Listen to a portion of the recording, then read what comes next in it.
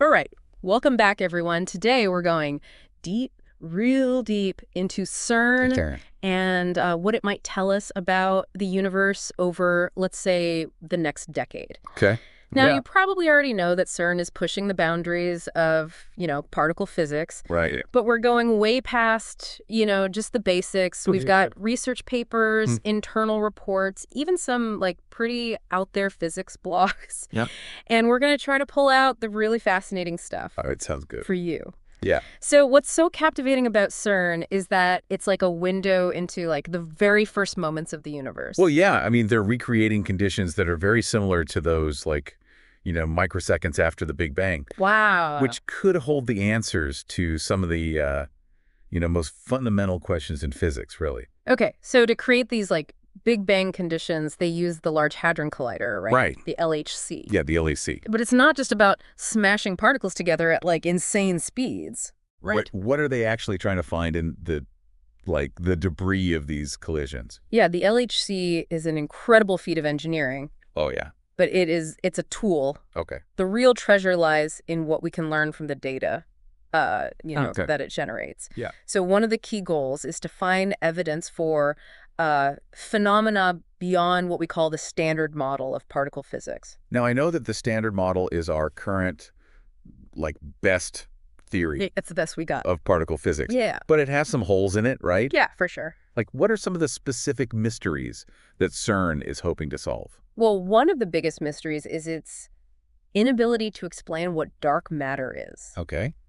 We know from astronomical observations that dark matter makes up like 85% of the matter in the universe. Wow. And yet we have no idea what it's made of. Right. So CERN's experiments uh, could potentially produce particles that interact with dark matter.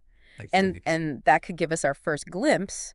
into this elusive substance. So they're essentially looking for a particle that's invisible to us, Yeah. but interacts with the universe in a way that we can detect. In a way that we can see its effects. Yeah, that's that's incredible. Yeah. But the standard model has other problems too, right? Absolutely. Another big one is something called the hierarchy problem. Okay.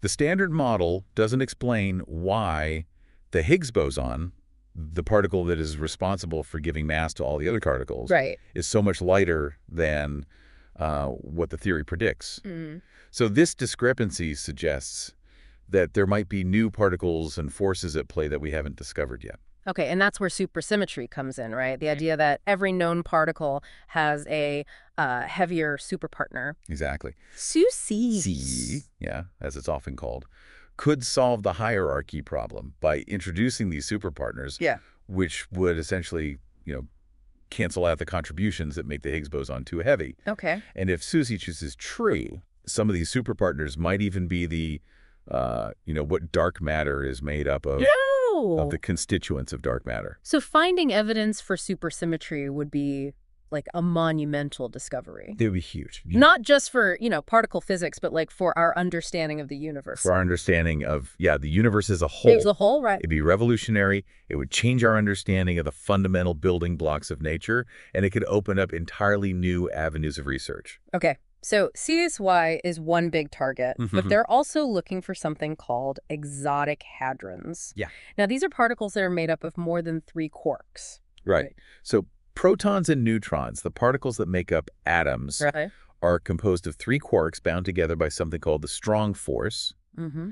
But recent discoveries at CERN have revealed particles called tetraquarks and pentaquarks, which have four and five quarks, Yeah. respectively. So these exotic hadrons are kind of like the, uh, I don't know, like The oddballs. the oddballs of the. yeah, the oddballs of particle world. Yeah. Yeah. And and studying these unusual configurations is really crucial Okay. because it gives us uh, new insights into the nature of the strong force, Right. one of the four fundamental forces of the universe. Like these exotic hadrons are pushing the boundaries of what we thought was even possible told. in the subatomic world. Absolutely. But even with the LHC, we're limited in the uh, the energies that we can reach. Right. Right. So what's like next on the horizon for CERN? Well, CERN is already planning for the future Okay. with the Future Circular Collider, Uh-huh. or FCC. FCC. This behemoth of a machine would be 100 kilometers in circumference. And 100 kilometers, that's That's mind-boggling. It would dwarf the LHC yeah. and allow us to smash particles together at even higher energies. Wow.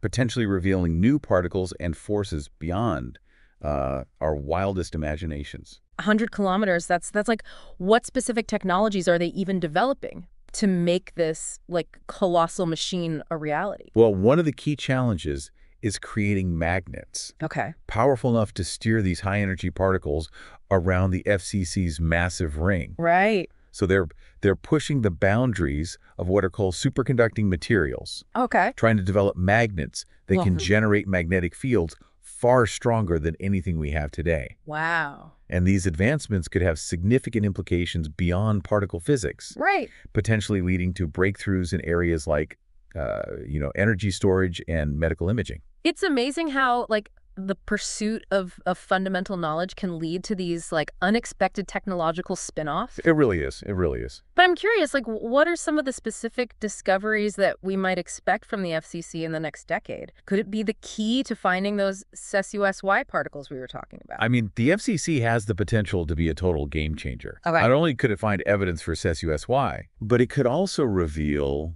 new, unexpected phenomena that, you know, we haven't even considered yet. That's exciting. It's like we're on the verge of a new... It's like we're on the verge of a whole new era of discovery. Yeah, we are. Yeah. And it's not just about finding new particles. Right. The FCC could also help us, you know, probe the fundamental nature of space and time, Okay. shed light on the origins of the universe, and maybe even give us hints about the existence of other dimensions. Oh, other dimensions. Things are about to get really interesting. They are. Uh, We're just getting started. yeah. But, you know, before we dive into the realm of those mind-bending possibilities, Okay. let's take a step back and explore some of the practical applications of CERN's research. No. Because it's not all about esoteric theories and, you know, far future experiments. Yeah, you're right. I am fascinated to learn how the research at CERN is already, like, impacting our lives today. Yeah. So let's get into it. You know, it's pretty amazing how research into the fundamental building blocks of the universe Right. Can lead to advancements that actually touch our everyday lives. Like, Yeah. for instance, Okay. CERN's work has totally revolutionized medical imaging. Oh, yeah, I've heard about this. Yeah. So tell me more about, like, how particle physics is helping doctors see inside the human body. Well, take PET scans, for example. Or, PET stands for positron emission tomography, right? and it relies on antimatter, something mm-hmm. that was first observed in cosmic rays Wow. and later studied in detail at CERN. Okay. The detectors used in PET scans were actually originally developed for particle physics experiments Mhm. and then adapted for medical use. So the same technology that's used to track particles in a collider is Yeah. now helping doctors diagnose and treat diseases. That's that's a pretty big leap. It is, it is. And it's a testament to how fundamental research can have, like, these unexpected but profound benefits Right. for humanity. And speaking of leaps, another area where CERN's research is having a major impact is in cancer treatment. That's right. I remember reading about this. They're using particle beams to target tumors, right? Exactly. CERN is at the forefront of developing a technique called hadron therapy, Hadron therapy. which uses beams of protons or carbon ions to precisely target uh, cancerous tumors. Okay. These particles deposit most of their energy at a specific depth, which minimizes damage to surrounding healthy tissue. So it's like a it's like a super precise scalpel, Yeah. but made of like subatomic particles. That's a great analogy. Okay. Hadron therapy offers a more targeted and less invasive approach to treating certain types of cancers, especially those located deep within the body or near critical organs. Wow. It's incredible how like the quest to understand the universe at its most fundamental level can lead to like these life-saving medical breakthroughs. It really is. And these are just a couple of examples. The technologies that are developed at CERN have applications in fields ranging from, you know, compute to materials science to environmental monitoring. So it's a constant reminder that investing in fundamental research pays dividends in ways that we can't always predict.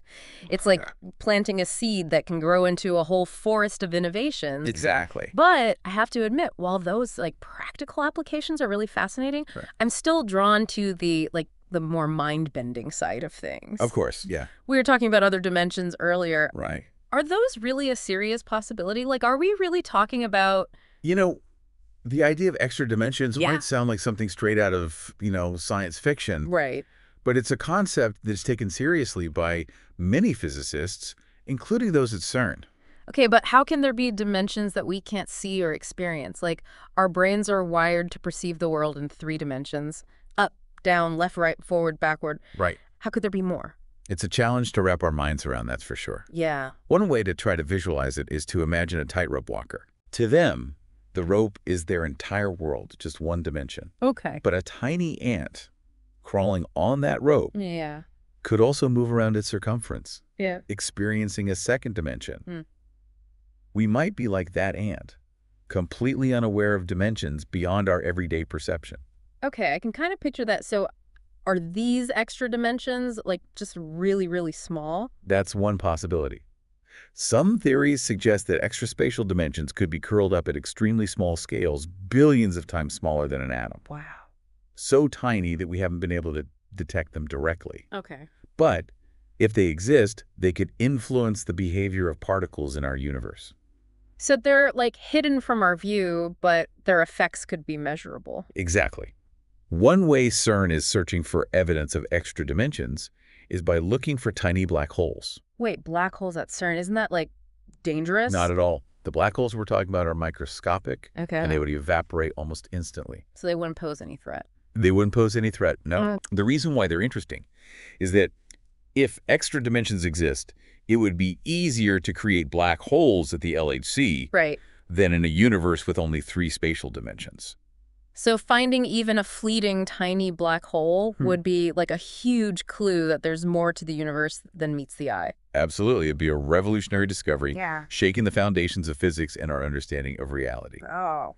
And speaking of shaking foundations, there's another uh, mind-bending concept that CERN's research touches on, Okay. the possibility of parallel universes. Okay, now we're really getting into science fiction territory. I know, right? But are parallel universes even remotely plausible from like a scientific standpoint? While it might sound far-fetched, the idea of a multiverse, Cool. where our universe is just one of many, Right. Has roots in several areas of theoretical physics, Okay. particularly in cosmology and string theory. I'm all ears. How could multiple universes exist? One way to think about it is the concept of cosmic inflation. This theory suggests that in the first fraction of a second after the Big Bang, Right. the universe expanded exponentially. Yeah.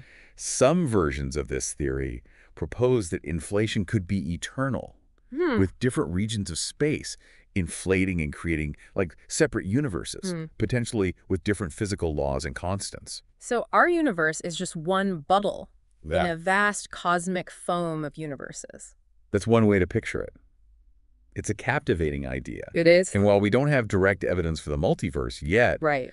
CERN's research is pushing us closer to understanding the conditions that might have led to such a reality. It's like we're like peeking behind the curtain of our own universe Yeah, and getting these glimpses of a much grander, more complex reality. I like that, peeking behind the curtain. Yeah. But with all of these like mind-blowing concepts, Yeah. it's easy to lose sight of the bigger picture. Like, where does CERN fit into our overall quest to understand the universe? That's a that's an important question. It is. You see, CERN is more than just a like a research facility. It's a symbol of humanity's like relentless pursuit of knowledge, Totally. our drive to understand the universe and our place within it. It's like a beacon of curiosity shining out into the cosmos. Exactly. And the discoveries that are made at CERN, whether they're about new particles or extra dimensions, or even the possibility of, you know, parallel universes, Hmm. they're not just like scientific breakthroughs, they're like milestones in our collective journey of exploration and discovery. Yeah, well said. It's inspiring to think that we're part of this grand endeavor pushing the boundaries of knowledge and revealing the secrets of the universe. It really is. But I have a feeling we've only scratched the surface of what CERN might uncover Oh, yeah. in the like the coming years. It's just the beginning. Yeah. The next decade promises to be an era of incredible discoveries at CERN, potentially leading to a paradigm shift in our understanding of the universe and our place within it. I can't wait to see what they uncover. But before we like get too carried away with the future, Yeah. let's bring things back down to earth for a moment. Okay. We've talked about the like mind-blowing discoveries and Yeah. the practical applications. Yeah. But what about the like the human side of CERN? Yeah, good point. Yeah, it's easy to get like caught up in the uh the scientific breakthroughs and the mind-boggling concepts, but at the end of the day, CERN is driven by people. Yeah. Like, what kind of minds are drawn to this kind of research? well, CERN is like a magnet for some of the most brilliant and inquisitive minds on the planet. Mm, You'll find physicists, engineers, computer scientists, technicians, all united by this shared passion for exploring the unknown. Yeah, it must be a really stimulating environment. Oh, it is. Like, what's it like to work at CERN? It's truly a unique and inspiring place. Okay. Imagine like a global village Yeah. where people from over a hundred countries Wow. collaborate on some of the most challenging and intellectually stimulating projects imaginable. There's this like constant buzz of activity, this sense of shared purpose, Right. and uh, and a real camaraderie among the researchers. It sounds like a like a real melting pot of cultures and ideas. It is. all focused on unlocking the secrets of the universe. Yeah, totally focused on that. Yeah. And it's not just about like individual brilliance. Right. CERN thrives on collaboration. Okay.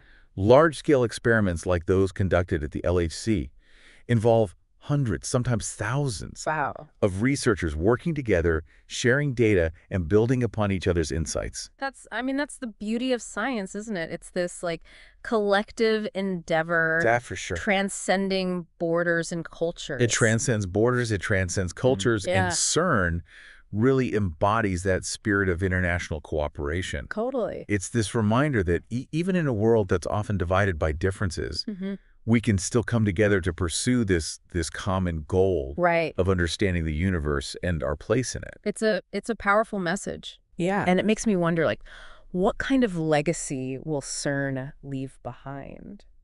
You know, CERN's legacy is uh, it's multifaceted. Okay. On one hand, it's a testament to human ingenuity, Right. pushing the boundaries of engineering and technology to build these machines that were once thought to be impossible. Like the LHC. Yeah, like the LHC. Just a, a real testament to like human ambition and our desire to explore the unknown. Exactly. But CERN's legacy goes beyond just the machines themselves. Okay. It's about the knowledge that we gain, the discoveries that we make, Right. and the way those discoveries shape our understanding of the universe and ourselves. And those discoveries, they they have the potential to impact like, generations to come. Absolutely. Right. CERN's research is laying the foundation for a future where we may understand the fundamental nature of dark matter, Wow.